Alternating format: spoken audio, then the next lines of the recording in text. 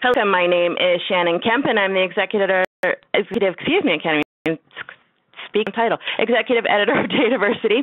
We would like to thank you for joining today's Dataversity webinar, Big Challenges in Data Modeling, State of the Union of Data Modeling. And this series is moderated by the esteemed Karen Lopez. Just a couple of points to get us started. Due to the large number of people that attend these sessions, you will be muted during the webinar. For questions, we will be collecting them via the Q&A section, or if you like to tweet, we encourage you to share highlights or questions via Twitter using hashtag BCDmodeling, Big Challenges in Data Modeling.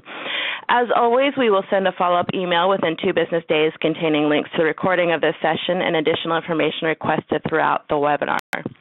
Joining us today are two great panelists, Sue Geuens and, and Anne Marie Smith. See, Sue, I already, I'm hosing it there. Anne Marie Smith, PhD, is an information management professional and consultant with broad experience across industries.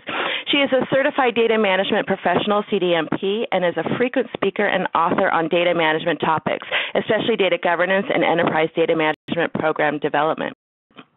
Marie is a primary author of several section of the data management body of knowledge, and she writes regular column in the data administration newsletter, tdan.com. She has a love Sue has a love affair with data for almost 18 years now, starting with being handed a stiffy disk with a list of build, builders and told, This is yours now. That love affair has led down multiple data paths, and she has worked for and with many of the largest organizations in South Africa.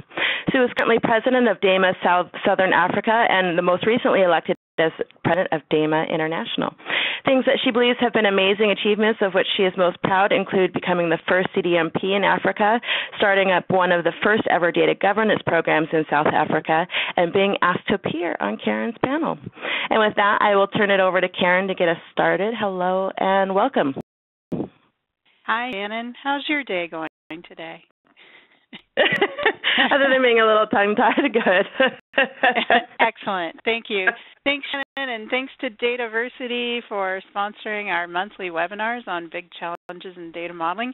We've been putting together this year's um, sort of editorial calendar coming up. We have a whole bunch of exciting topics, but I'm always looking for input on people you'd like to hear chat about on one of our panels or events and topics you'd like to hear about. So feel free to put those in the chat or the Q&A so that we can take those forward. Um, I also want to thank my lovely panelists, Sue and Anne-Marie, and as well as all of you out there who have logged into this or maybe listening to it after the fact, I consider you our third panelist, our other panelists. So unlike other webinars and broadcasts, we heavily encourage you guys to chat with each other in the chat feature over on that sidebar on the right. Um, so do we try to keep an eye on that while we're multitasking and talking about these things. Um, but if you have a formal question for the group or for Shannon, a logistics thing, please put that in the Q&A section because it's easier for us to find those and answer them for them.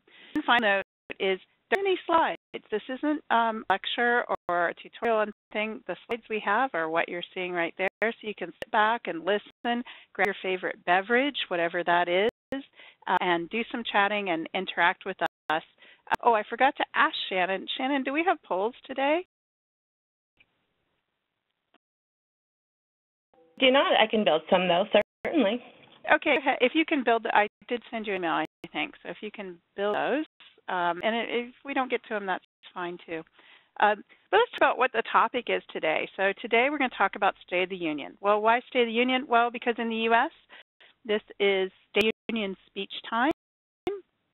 where President talks to people about um, where they see the where he she might see today see the the United States and where we're going for. And so I thought this would be a great time to have a State of the Union for data modeling. It's Like a lot of like my panelists who have a lot of experience, and like a lot of you out there, um, there a lot of have been doing this for a long time. We've seen things that have changed over time, things that have stayed the same. Um, but maybe I'd start with just a little, I'd give a little overview of where we've come from uh, and one of the things we're lousy at as a profession is putting together sort of a published history of, of everything that's happened. I think maybe that would be a great task for people to have. Maybe that's something we can do at the upcoming Enterprise Data World is get some people together during one of the evenings and try to uh, collaborate and crowdsource a brief history of data modeling and data management. I think that would be great. Um, but I'll start with maybe where my career was. Is uh, I started data modeling back in the early 80s when I was in school. Um, and we have, you know, the ERDs and everything, but what we did were data flow diagrams, we created data dictionaries, we created file layouts uh, specifically um, for flat files or VSAM files or ISAM files. And then on that same time, of the advent of relational databases came along, and I was, you know, very fortunate to be studying database technologies at a time when Ted Codd had published his papers and vendors were beginning to build out relational features either as a on top of their pre-relational DBMSs or create brand new ones. And there was a lot of contention going on there about how relational are, is a relational database. So that's all an interesting time. But the data modeling I did then was partly using those green templates, mostly on green bar paper. Now I've really dated myself here, but Sue and Anne Marie, what guys come from in data modeling? When did you get into those things? Actually, Karen, mm-hmm. I have similar to you. I my data modeling career in grad school when I was introduced to modeling a data flow diagramming format for a grad school course. And right after graduation, went to for an insurance company where one of the people in the organization for whom I was fortunate enough to be told to work was one of Doc's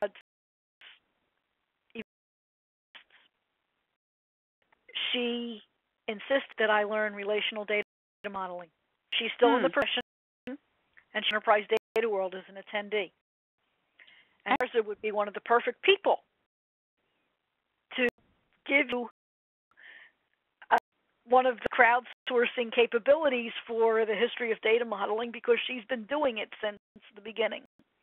Yeah, we should um, so make this happen. We should so make this happen, I think. I think it would be a wonderful idea. I'm sitting here oh. actually writing talk to Sue about Karen's idea. Excellent. Um, that's where I started. And from there, we built one of those excruciatingly detailed, to use John Phrase, and our data models at Cigna. And, and we used pen, paper, and some of the original case tools to build what was completely normalized. Oh my God, normal form model, conceptual data model, and all the metadata associated with it. That's how long ago it was, back in yeah. the 1980s. Uh, a things to do right, and a lot of things I would never do again. And yeah, keep muting myself because the planes are still coming over. So I think that I'm the real, I'm the real baby here because it was the 7th of February 1996, probably at about 9 a.m. in the morning, that my new boss handed me the stiffy disk and said, Here, you need to look after these people. This is your problem. So I subsequently put the stiffy disk in the PC that was on the desk and I looked at it and I went back to him and I said, This needs a database. He says, Well, go buy one. Here's my credit card. So that is how I started. And I really did. I went out there, and the only database I knew of was Access. So I brought it back to the office, installed it, copied all of these things out of this Lotus 123, and pasted it into Access. Oh, that's how much I knew what I was doing. So about two weeks, I guess, of like really typing in pieces of information every time I got a new builder, and it suddenly occurred to me that I was being a bit silly. And then I started looking at the data and going, but that looks like that, and that looks like that. And uh, I think by the end of the year, I had six developers working for me, and we'd moved from Access into SQL Server 6.5.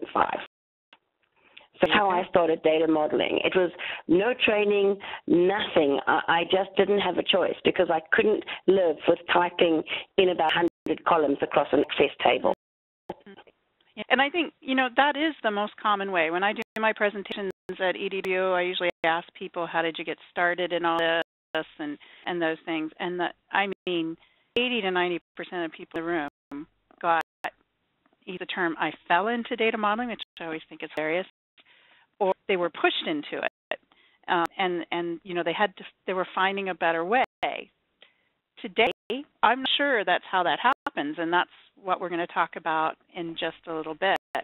Um, I mentioned that I started with green templates and Greenbar paper, and and we did have um, a, a, model tool, Excelerator, which I think was primarily yes. data flow diagramming tool, um, and it was all seen as new, new, new, right? Because we had at that time we still would have had DOS-based machines. Gosh, I feel like I'm telling people how I walked uphill both ways in the snow to school every day. But then on my career, just as I was getting that, um, you know, the the modeling tools, the case tools were coming out. There was IEF and IEW, which became ADW, and there were things like Bachman data modeling tools, and ERwin and S Designer, which became I think Power Designer, and then there was Silver Run and Oracle tools. What have I left out here that people worked with?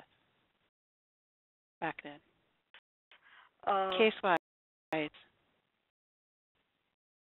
The, the oh. enterprise architect that does enterprise extra stuff as well. Hopkins yeah. and system architect.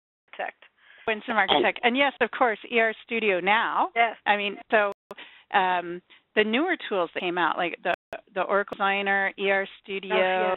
Oh, um, remember when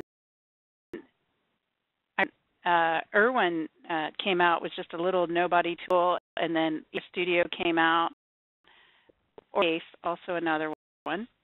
Oracle. Uh, ERwin was built in New Jersey, not far from where I live.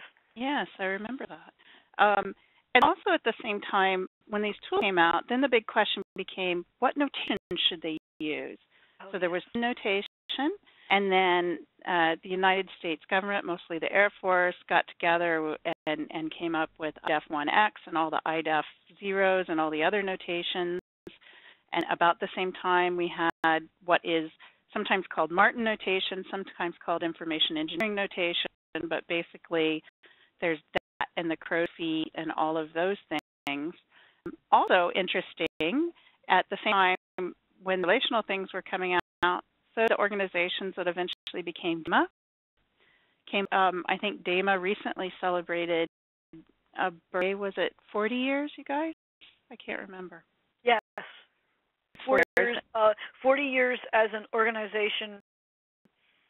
Yeah, chapters, I think. As and the then my own, my own chapter, ERMAC, is even older than that. So I think we're 45 plus years. So going on all those things. And then we fast forward in just a few years ago, DAMA came out with the data management, the guide to the data management body of knowledge, and also worked with ICCP to come up with the certification. And I think that's kind of covered sort of the tools, the approaches, the notations, um, all those things.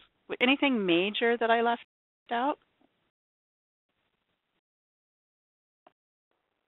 frustration factor, I think. The frustration factor. Um, so that's also a whole other webinar that I, I lo- it's my favorite topic. Um, one of those things about sort of the conflicting points of view and how we reward people differently to be architects and designers versus builders. Um, a whole other topic. that's still one of my favorite ones, though. But yes, the frustration of figuring out where formal data modeling methods fit within other methods and tools. I think that's a good segue to where we are.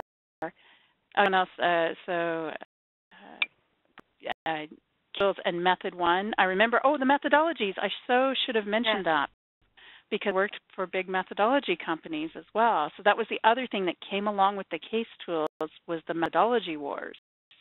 Um, it got to the point where one of the methodologies I was asked to implement for a client had something like 400 deliverables for each formal deliverables it was and and so there was that whole a lot of them were tagged as information engineering methodologies. Talk about that because most of us have tried to ban the word methodology because it got so much hype and so much uh, people burnt by follow a methodology without following their brains. So all of that stuff. where we are now. So out of all those tools I mentioned, um, a, a, lot of them still exist somewhere in some form. I know that Silverrun was put into open source at White. I know that um, Power Designer is still going strong, ERwin, ER Studio. I know technically, I think IEF and ADW still exists somewhere in the CA world of tools. Um, Oracle has a SQL developer tool, but Oracle Designer is no longer supported. Um, so there's lots of the current tools.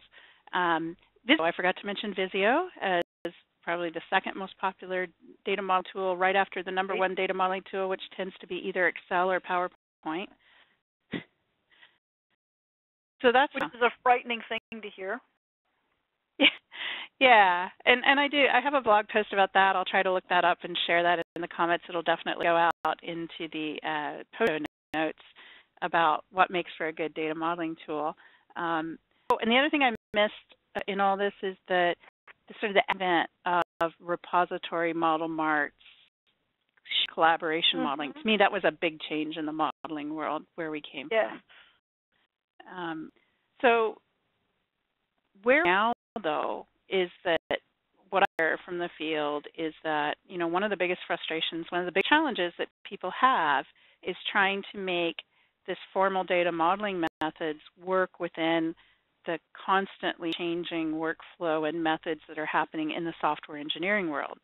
So of course, the number one player there is Agile, Scrum, some of the other newer things, um, you know, up very specific things like code first and all of those, and I've talked about those on other webinars too. where do you, I'll ask Sue this. Sue, where do you think we are now with our way of thinking about how we develop models fit within these new and the changing role of software engineering methods? I sometimes feel like I've done a whole 360. Um, you know, originally I really did. It was extremely agile. I kind of stuck stuff together, made sense of it, spoke to the developers, and got them to understand what I was doing, and we went ahead. I don't think I even understood the, the, the methodology of build your conceptual one, then go to your logical, then do this and then do that. So I learned that post having done the whole agile mechanism. And I, I do feel that sometimes we've gone all the way back to the beginning. I have to say I'm not quite sure that I agree with it because I now sit at the end of having done a bit of agile data modeling with some of the developers. And today I spent the whole day trying to make sense of millions and millions of rows of data that I feel that I made a mistake on because I designed the data model. But I did it agilely because I had to do it quickly and I didn't take into account uh, things like how many records there would be, the fact that the developers would go behind my back and make changes that I didn't know about. You've you've met those guys, have you? and what's, what's um, different about all the other architects on our projects? Do they suffer from the same things? What's different I about have heard so. I know, you know what? I mean, I see that there's a gentleman here. He's from the, the, the South Africa as well, and I actually uh, met him and spent some time chatting to him. And um, I have had him say very similar things to me as well. That it, it, we we seem to all suffer from the same problem, but we don't quite know how to resolve it.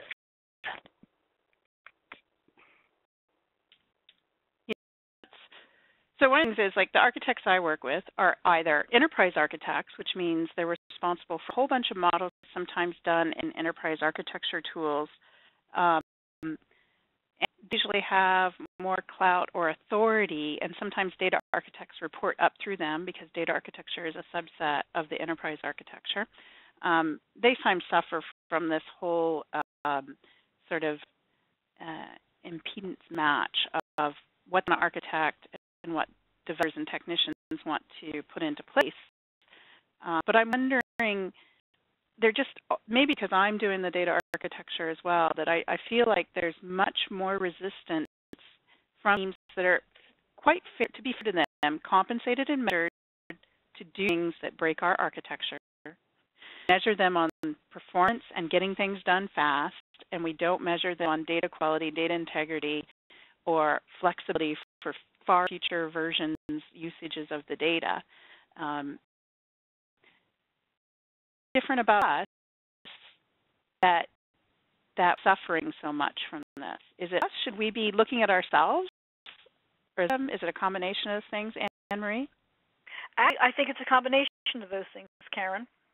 Mm-hmm. I that one of the things I've seen in the assessments I do for enterprise management, and I include I can the development of an enterprise data architecture group in that and relations is that organizations don't in the enterprise architecture team to include data architecture properly.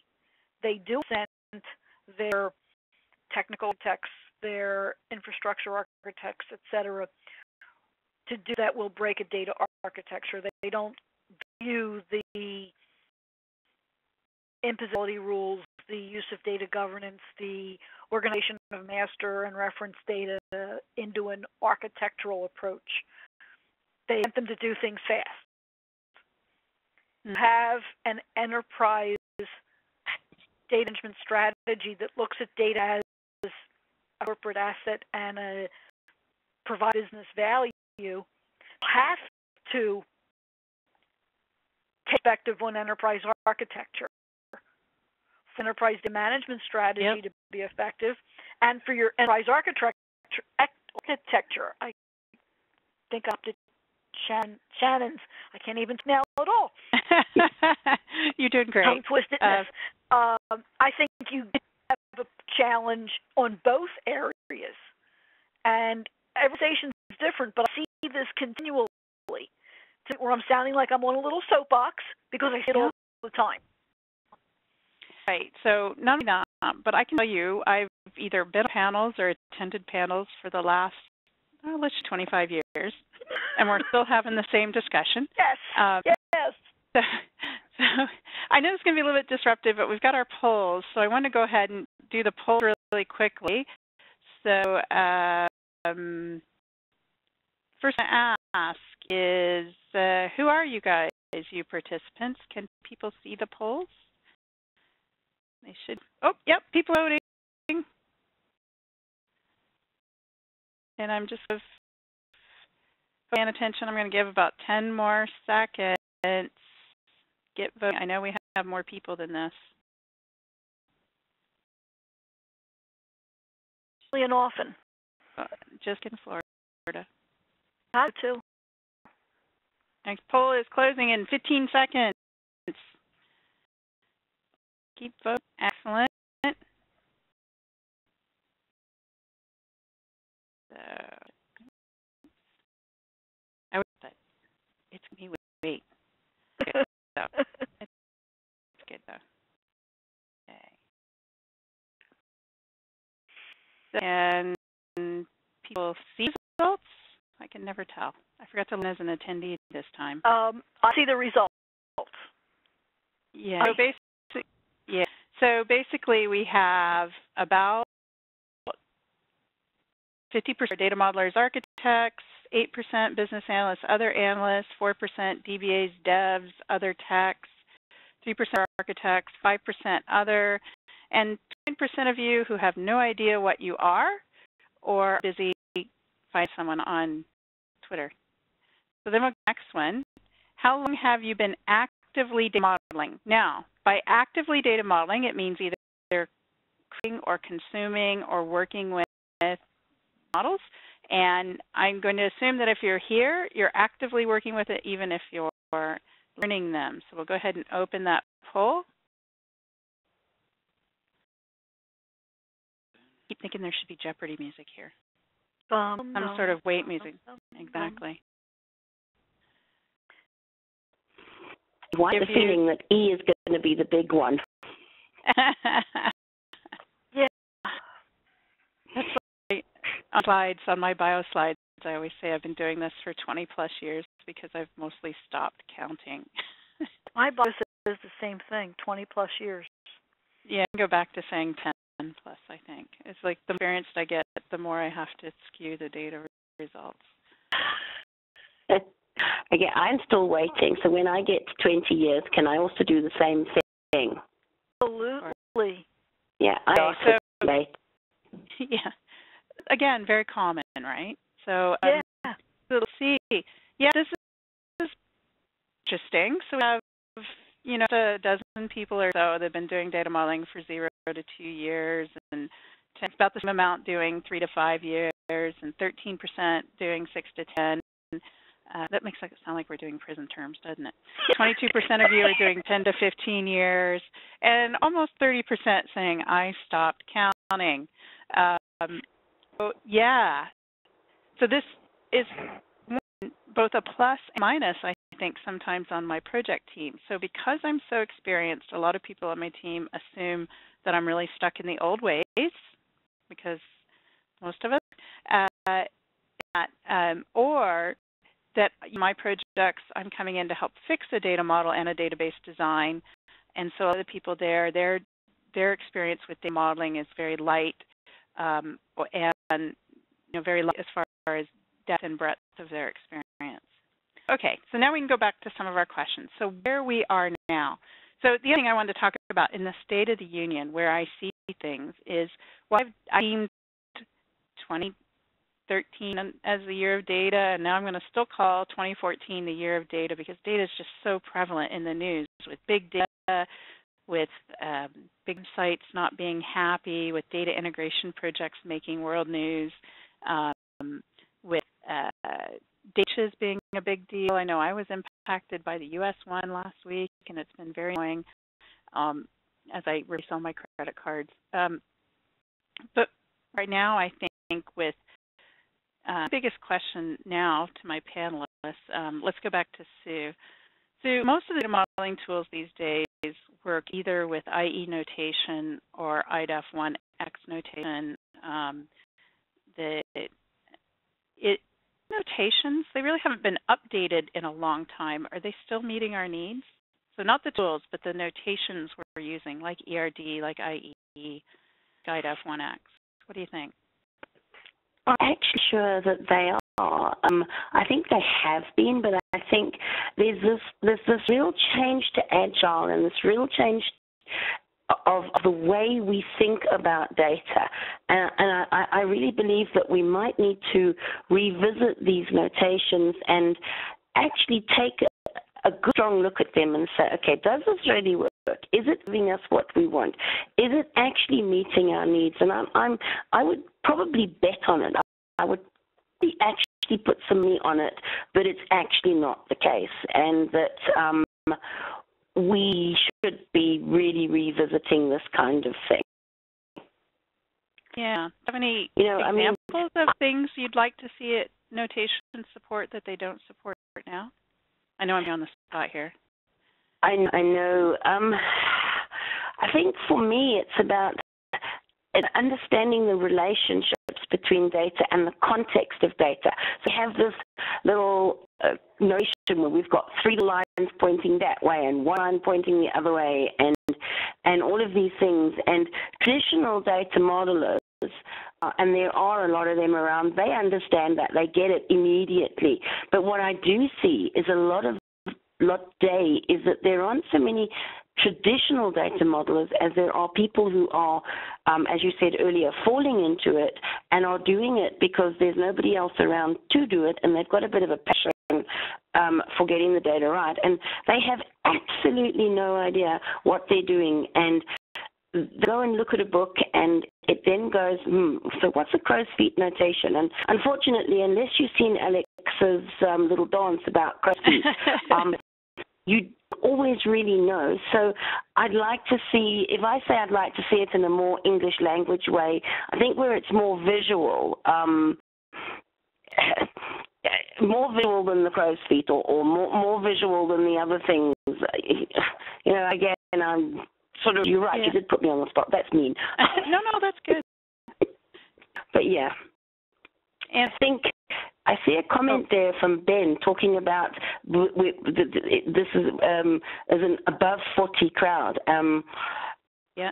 And I think that's also very true because what it means is we are all more traditional. The younger generation who are coming into data modeling are kind of challenging the, the, the, the tried and trusted, and some of their challenges are actually valid. I agree. Think about our notations. I don't the notations necessarily are lacking. I think it's the understanding of how to use them to address what the mar and the user and the developer want to represent that's lacking. Hmm. Right? I think from my perspective, that probably adequate. In anything experience to this point that says I do what I needed to do with the notes. However, I've seen time and again where less experienced modeler, flippers who didn't understand what an experienced modeler was trying to convey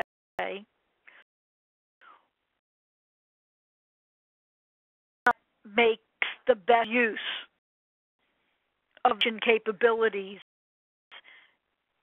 in the model so we were ending up going from Philly yeah. to Phoenix to Dallas and then finally to Austin. yeah, I think there, that's always going to be an issue. Um, I've opened up a poll on this thing um, in, about the audience feels about this. Uh, and I, I think that the most common one we use right now is actually a com, at least in the major tools, is a combination of uh, some IE stuff. So IDEF1X didn't have the crow's feet normally. Uh, mm-hmm. That was an IE notation or a Martin notation. Um, but F1X was the one that had all the attributes, looked like a table. It looked like a reverse engineered table and all that stuff. Mm-hmm. I think, though, that standard and a lot of modeling tool vendors, you definitely want to meet standards that you can get government contracts when the governments have that as a standard or organizations do. But that actually, as far as I know, isn't actively maintained anymore. there's a, an active, you know, group of people modifying it, and I'm finding there are features that I want to see in the notation. So things like the most common one with IDEF1X is it doesn't support ARCs, which means you know, a mutually exclusive relationship, like this entity is related to only one of these other entities at the same time. And IDFX 1X has another way of doing that with subtyping, but that's not really the best way of conveying that information. And I know there are people who've been doing a lot of work to try to um, try to share or to come up with notations. I know even Harry Ellis, who was responsible for architecting a lot of the original Barker notation. And, and people have worked on extending things, and there are some new notations that are sometimes put around. Um, but wondering, you know, we the only profession that had this sort of way of conveying data about our data hasn't changed in 25 years, that there aren't new ways of thinking about how we want to explain data and the underlying metadata for them. So with it works, but I'd like us to see us mutation. So one of the questions in the in the forum is, what about UML?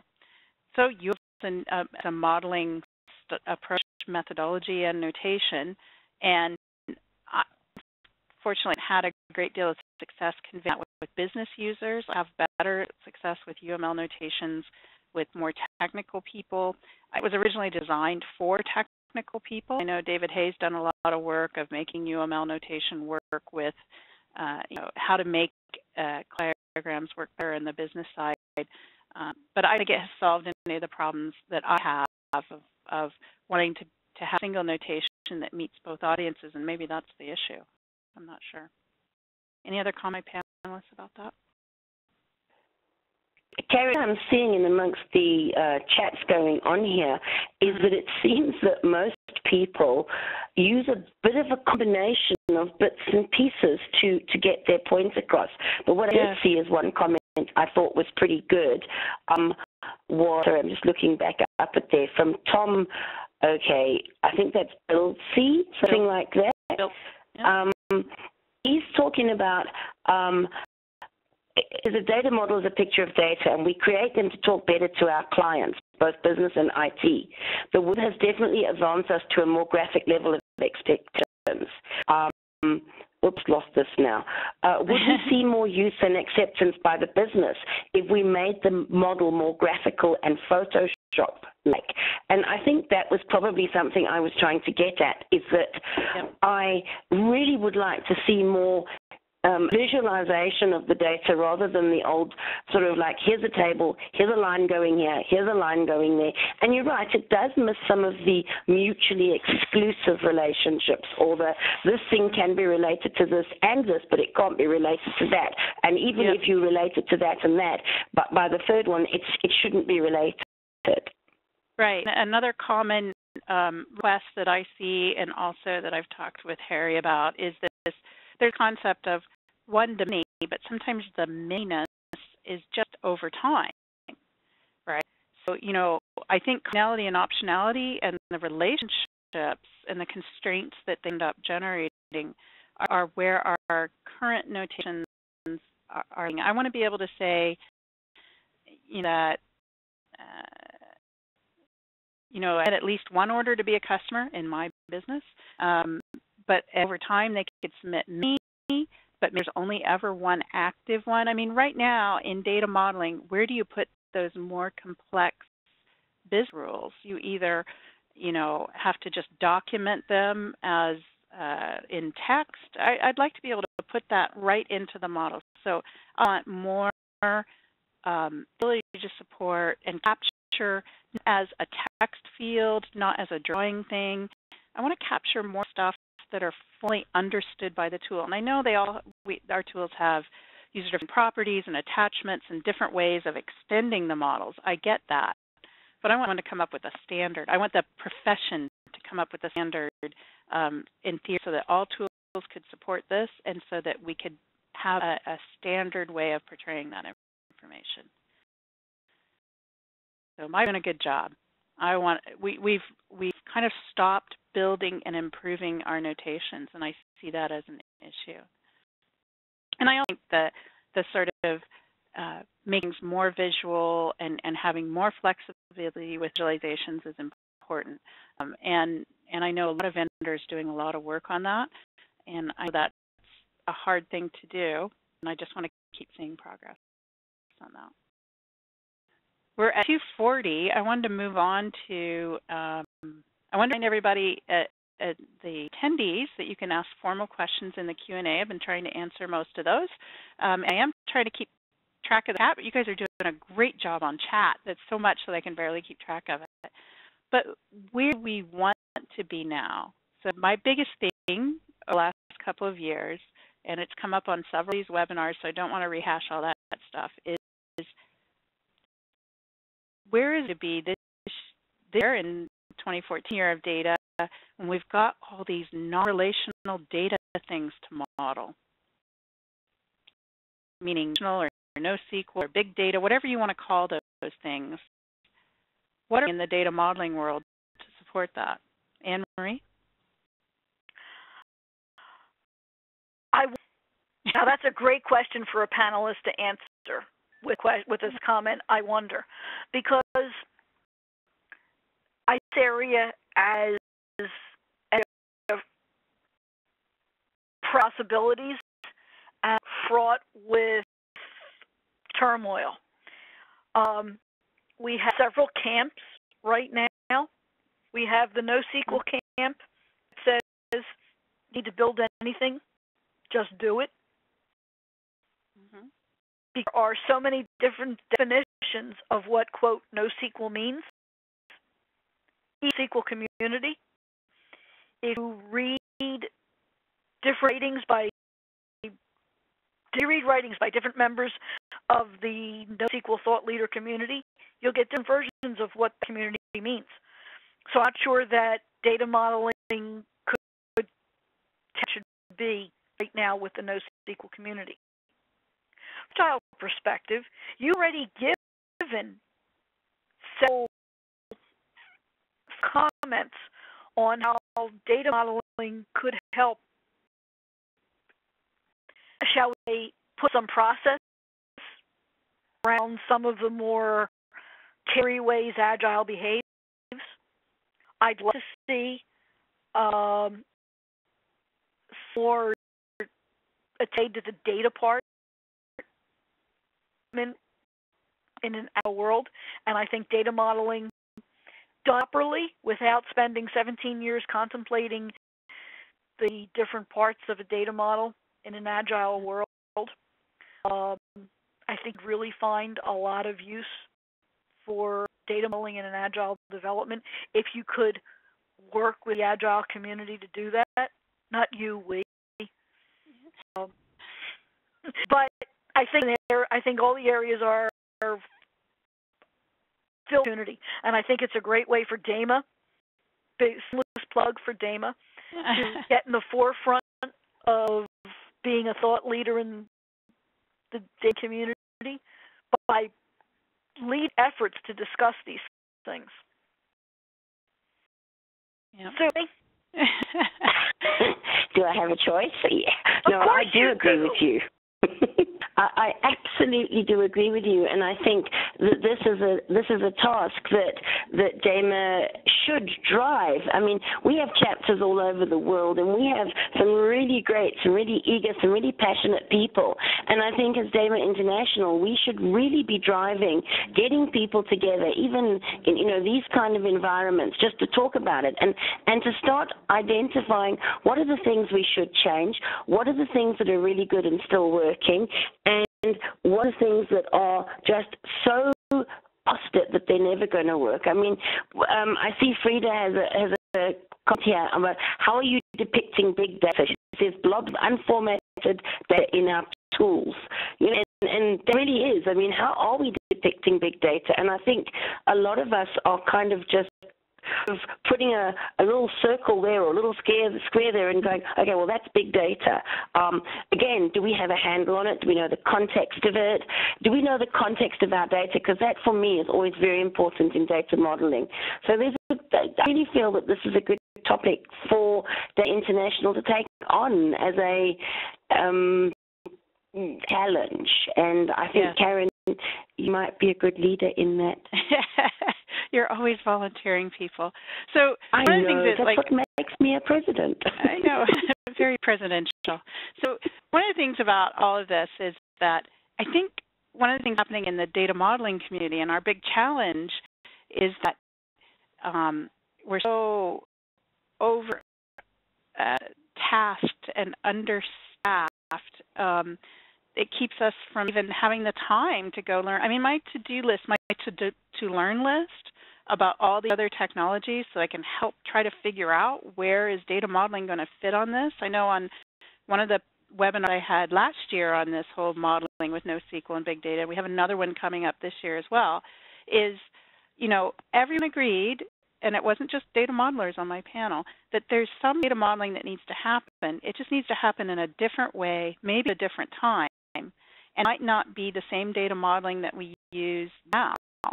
It just who's going to solve that problem? It, it needs to be the data management profession participating in that, and the right type of people, the people who aren't, you know, anti doing something differently, is to come there. There's a real problem on the projects I'm on. There's a real problem that we have this big, big divide between traditional 1980s data modelers and the people who are trying to get stuff done and solving new problems. And there's this whole sort of thing going on in our, our, our profession about big data is just a fad and it's just something, it's nothing new, it's just the mainframe. Well, if it was just the mainframe, frame, we'd be pointing our data modeling tools at it and doing it that way. It is different. Um, and another webinar, I think other big pain points and challenges with data modeling right now is all the new things I need to model. I'm not just modeling databases. We're not just building new databases all the time. You know, most of my clients, it's all packages. and the modeling we're doing is this canonical model in the middle, or modeling the packages that don't have a documented model, trying to sort of reverse engineer and reverse guess a logical data model and maybe a conceptual data model, then building something so that we can interface the data either through services or through direct integration or integration packages or interface service buses and all of those things. Uh, but the other things that are coming are support cloud databases because they're not quite the same as traditional relational databases, even the, the relational databases in the cloud like SQL Azure and all of those, they're slightly different and some of my tools support that and some don't. Um, where should where do you guys think that the modern tool space, the vendors, are they prepared for dealing with these new things? Panel. Um, I I think maybe some of them. Anne Marie, what do you think? A couple of them. Most of them not. I think I most of agree. them are still. I think they're still trying to fix the current ones. Never mind. Um, go to new stuff where where we're saying, listen, we need to model our data in a different way. We we need to um, not be necessarily so um, inflexible and insist that it's done this way, or we need to do some more graphical stuff so that when we show it to a user who has no idea what a database looks like, he or she doesn't run away screaming because there's that little square blocks with lines again. So, um, yeah, I don't think everyone's ready for it. I do, however, think that there's one or two organizations, vendors out there who are getting really close towards this cutting edge of let's try and do something different and satisfy the, the challenges that we have. Yeah. Say which ones. Oh, okay. I'm really concerned that we don't have more than one or two vendors who are that farsighted. Mm. Most of them are still stuck in the several releases behind. Yeah. Very proprietary, if I don't, that proprietary might not be the word, but very protective, that might be the better word, approach to my or the highway, and no, you can't share data from one to another unless you let us do it for you, and you have to buy everything our way. Yeah, I think you're right. Um, and I, I use, uh, I don't have one specific tool I use and say, okay, this is the tool of my choice.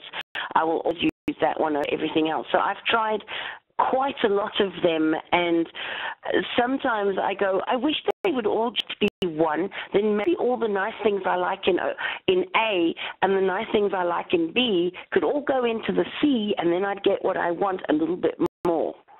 So you know, I think part of it is they're all trying to to be, hey, listen, use my tool because it's the best, but they're probably not taking into account the people at the end who have to use it, which is us.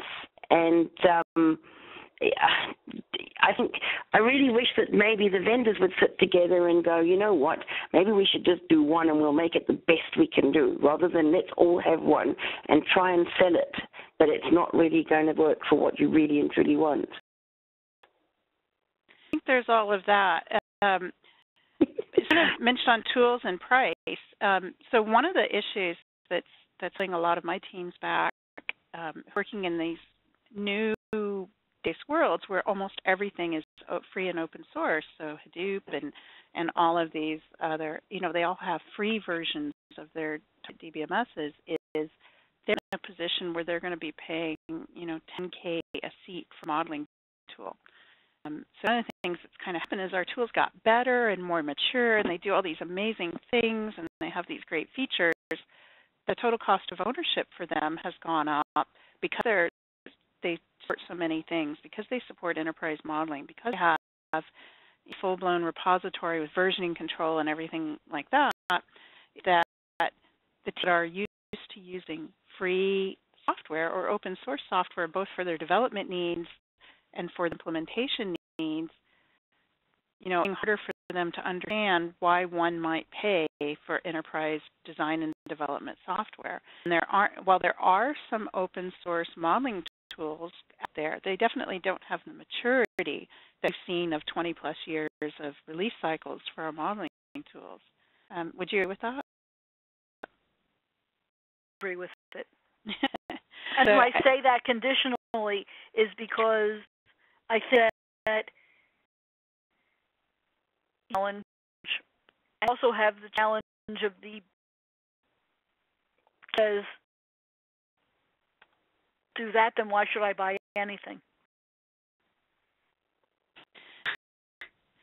So that's it. And why they want drawing tools, because drawings are relatively cheap or embedded in other tool suites. Yeah.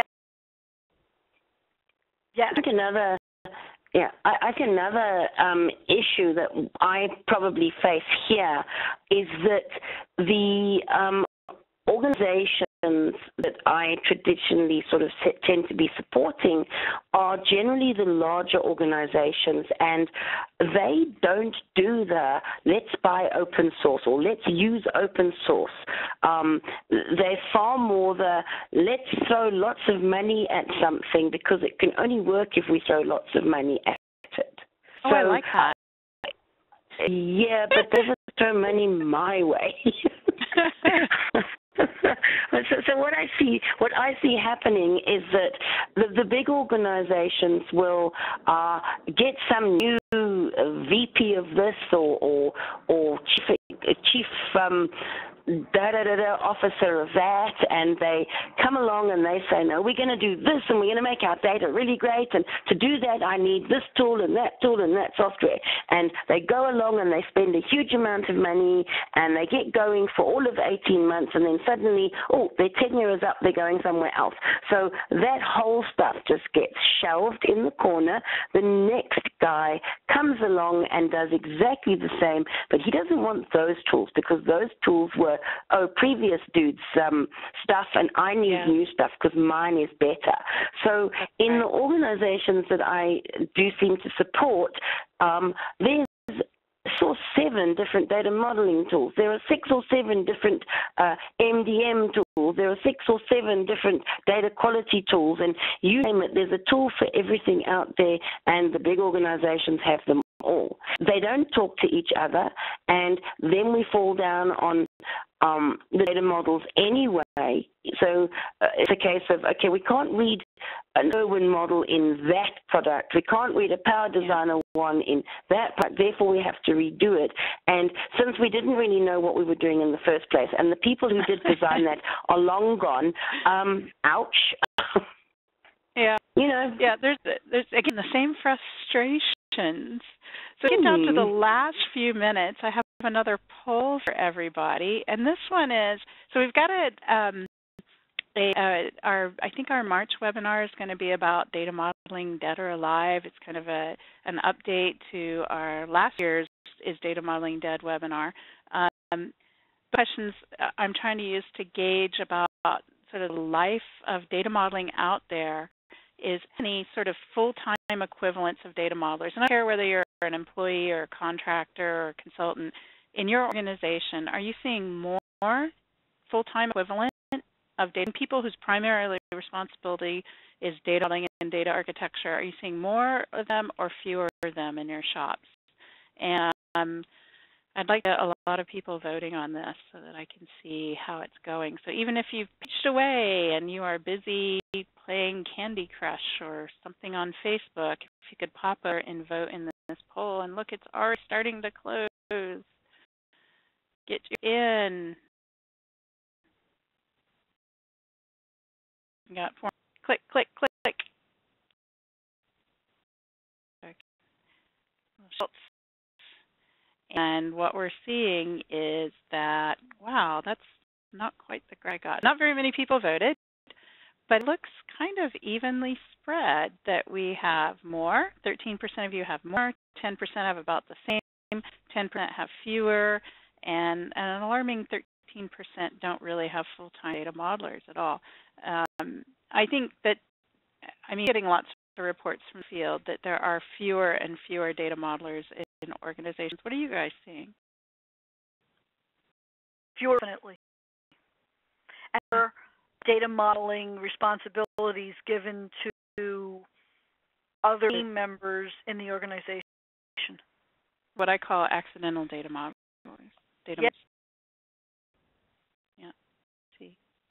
Well, uh, the, the the contract that I'm busy working on right now, uh, there is one data modeler, um, the whole organization, um, yeah. and that's me. Yeah, I see quite a bit. I see that quite and a bit. I mean, what's really scary is that I actually am not factored in to do any kind of data modeling. Yeah. A very specific thing that I'm supposed to be doing.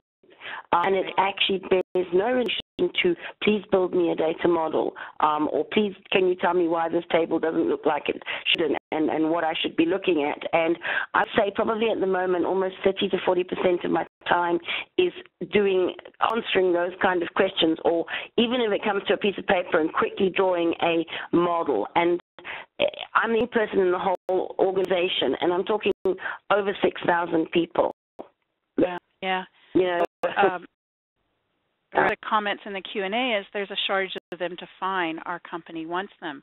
I have also experienced this trying to help clients hire what I consider real professional data modelers or data architects, like people, not just people who have once reverse engineered a database or once took a class seven years ago, people who have several years of experience of doing that. Um, and I think that's a real problem for data I think it's a real problem. Like, I want people to love mm-hmm. their data, and I want there to be professional data managers, right? Um, and the thing is, is that when we go to, to events, you know, everyone looks very experienced. When we go to EDW, I see very experienced people. I ask people how long they've been data modeling. It's skews into the double digits. We've got a real problem here. And we're getting close to the end of our time, but I'm hoping we can continue this discussion. We always invite people to stay over for about 15 more minutes with the recording turned off where we can talk about some of the things. So um, because of two minutes, I think I'll start the wrap up. Um, I want to thank um, my lovely panelists, Sue and Anne Marie. And I always think when we get to the end of these, we should just have more time for this, uh, which is why we started doing the pre and after show. I want to thank Shannon for making all this stuff happening and making all the magic happen and and making sure we all get here and get logged in and the attendees get their support. I want Dataversity for hosting these, and I I want to remind you that we, we these happen every month. So the fourth Thursday is it the fourth? They happen every month. You can go to dataversity.net. The other thing is I want to put a plug in for Enterprise Data World. You guys are both coming to Enterprise Data World, right? Yeah, definitely. yes, definitely. And it's going to be a lot of fun. And it's it's its 18th year. I go to it every year. I think I've only missed a couple of years during due to track constraints. Um, and it's part, uh, it's great learning from very thought leaders, and you can go to dataversity.net to see, as well as it's um, a good sort of uh, sort of way of, of sort of your show back for data modeling by having these same discussions with other people and sharing useful tips. I'll be speaking there as well. I'm doing a workshop and I'm running a SIG. So those are all the things we're going to do. So Shannon, I'm going to turn this back over to you. And Karen and Sue and Anne Marie, thank you so much for this fantastic discussion. It's just I, I just love these webinars, and as especially love all the attendees who just chat away and really get involved in the discussion. It's just the, I think what makes this webinar specifically i'm still just tongue tied today um, so anyway i hope everyone has a great day. I will turn off the recording. We'll get the post show started and thank you everybody for your time